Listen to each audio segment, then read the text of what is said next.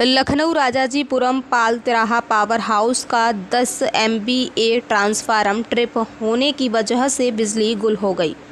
लोगों ने बताया कि इसकी जानकारी करने के लिए कुछ लड़के पावर हाउस गए, परंतु रोज़ रोज़ की समस्या को लेकर वहाँ के कर्मचारियों से कुछ कहा सुनी हो गई।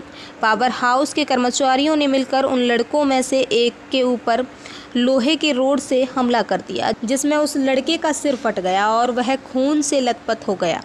इस बात का पता चलते ही आनंद फानन में वहाँ पर भारी संख्या में लोग इकट्ठा हो गए और पावर हाउस का घेराव कर जेई का कंप्यूटर और एसी तोड़ डाला।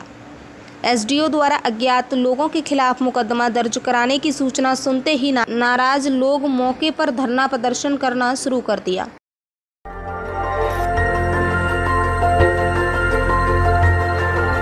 देखते रहिए डीबी भारती समाचार।